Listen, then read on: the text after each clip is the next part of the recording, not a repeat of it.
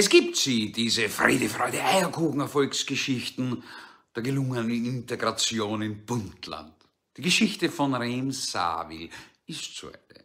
2010 als sogenannte Staatenlose, in Wahrheit war sie Palästinenserin oder Libanesin, in ein Land, wo Milch und Honig nur so strömen, aber vor allem Sozialleistungen locken unter der Kanzlerschaft Merkel selbstverständlich gekommen, rührt sie die sture und stoische Wir schaffen das Altkanzlerin mit dem Enkelinnen-Trick mitten vor laufender Kamera.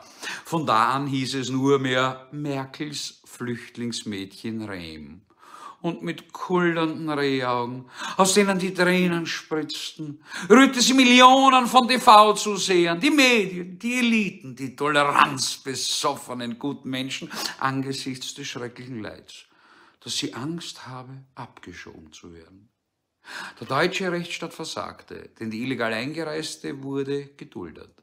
Das war ihr Aufenthaltsstatus. Sie wurde nie abgeschoben, obwohl kein Asylgrund vorlag. Aber was will man sich von Deutschlands Bürokratie auch erwarten?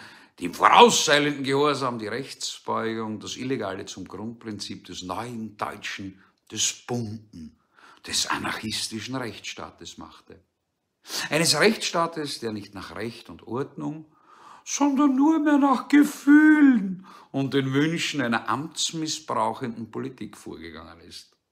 2022 bekam Rehm die Staatsbürgerschaft. Den Vorteil, den Deutschland daraus hat, kann bis heute niemand erklären. Doch es war die herzrührende Geschichte des jungen Mädchens, das mutig aus dem Libanon auszog, um in Deutschland die Zuwanderungsfolklore mit ihren Sprechbeiträgen in unzähligen TV-Studios zu bereichern. Und nun 2023, ausgestattet mit der Staatsbürgerschaft, zeigt sie sich eben dankbar für die Gastfreundschaft Deutschlands, indem sie die deutschen Werte mit Füßen tritt, statt sie zu respektieren. Eine kleine Antisemitin ist sie geworden. Geworden? Hm. Wahrscheinlich war sie es immer, Wahrscheinlich ist sie so sozialisiert, so erzogen worden. Wahrscheinlich hatte sie den Antisemitismus im Rucksack. Nun skandiert sie Free Palestine from the river to the sea und macht somit deutlich, dass Israel kein Existenzrecht besitzt, das jüdische Volk ausgemerzt werden soll. Eine typisch deutsche Integrationsgeschichte.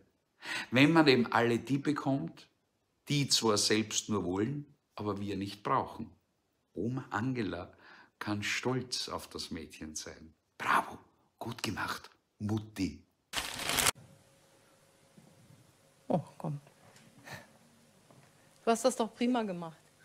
Ja? Ich glaube nicht, Frau Bundeskanzlerin, dass es da ums Prima-Machen geht, sondern dass es natürlich eine sehr belastende Situation Weiß ist. Weiß ich, dass es eine belastende Situation ist. Und deshalb möchte ich Sie trotzdem einmal streicheln, weil, ich, weil wir ja euch nicht in solche Situationen bringen wollen und weil du es ja auch schwer hast und weil du ganz toll aber dargestellt hast für viele, viele andere, in, welcher, in welche Situation man kommen kann. Ja?